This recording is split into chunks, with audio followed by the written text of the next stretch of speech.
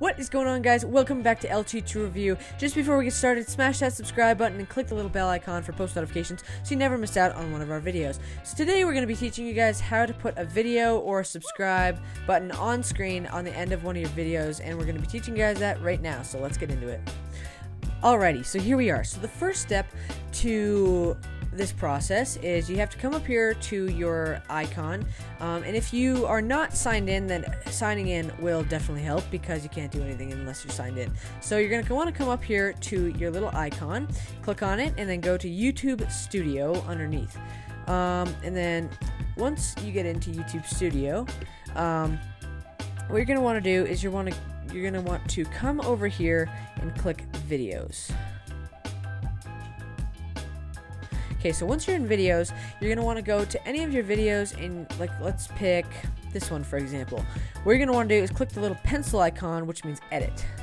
So once you go to and details, um, so you can do use that. So what you're going to do is scroll all the way to the bottom, and then once you're all the way to the bottom, you can't scroll down any further. You're going to come over here to the right hand side of your screen, and it's going to say end screen, and then you're going to have that pencil icon again. You're going to want to click on the pencil, um, and then this is your most important part right here.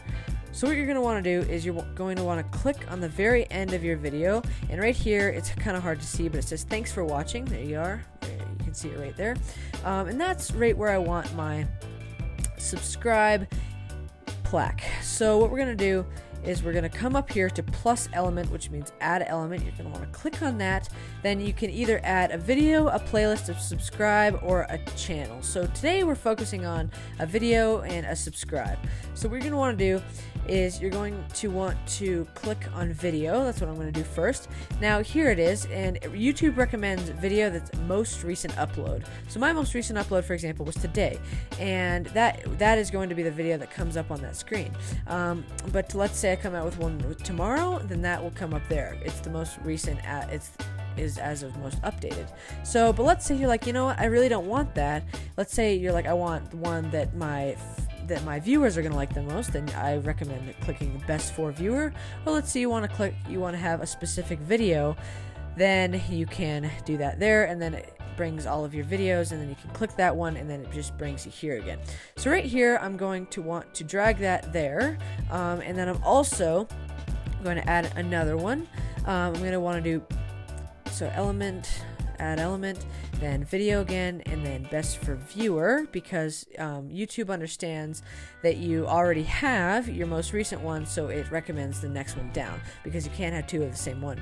Also, if you have them overlapping, it doesn't work.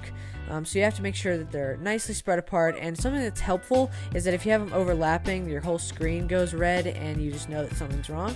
But then when you don't have them overlapping, it goes blue and you know that everything's going smoothly. So that's helpful. So the next part is that you go to add element again, and let's say you want to hit have a subscribe button on the end. So you hit subscribe right there, and then here is your subscribe um, circle.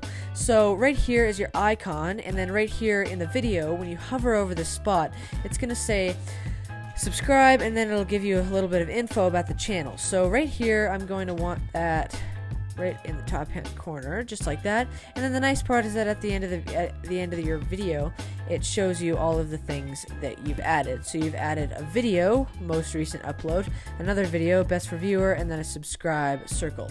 So that's all very helpful. And also, you have to have at least one video or playlist. You can't have um, just a subscribe circle. I'm not totally sure why, but that's how YouTube wants it. And um, so uh, that's how we're to do it. So, final step is once you have it exactly how you want it, you're going to come up here and hit save. And then once that's saved, the end of your video, it will pop up toward the very end. And um, that's all you got to do. Um, so, uh, I'm going to show you guys an example of this just so you can kind of see what I'm talking about here. Um, so I'm going to go to my re most recent video. Um, check it out, by the way, link in the description. Um, and also it's at the end of this video, so uh, it, um, it, says that. But uh, what we're to do is we're to come here. So as you can see right here, um, when I click on my video, um, right here, you can see this is my most recent video. Right here, they pop up. So when you hover over this, it says subscribe, and then it says the name of the channel, and then it also says my most recent upload, which um, right now it's kind of the default settings for me. But uh, like, let's say a viewer clicked on this video, then they would be able to see my most recent upload and my best for a viewer video. So that's all there is to it. Thank you guys so so much for watching, and thanks for making it to the end of the video once again. Um, like I said at the beginning of the video, like, comment, subscribe, do all that stuff, and uh, let me know in the comment section below what kind of uh, new talents you guys are learning, like. Um, I don't know, Bob Rossing or karate, just like this. Kick to the face while I'm wearing these bad boys? Forget about it. So, um, let me know. So, uh, thank you guys for watching, and uh, we'll see you next time.